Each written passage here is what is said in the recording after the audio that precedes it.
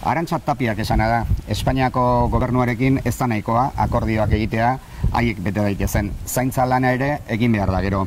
Ba hori egin du EAJak Euskal Enpresen argindar tarifaren inguruko itunarekin. Aste honetan jaso du aldizkari ofizialak akordio hori, baina 2017an Rajoiren gobernuaren aurrekontuak babestearen truke lortutako ordain baita.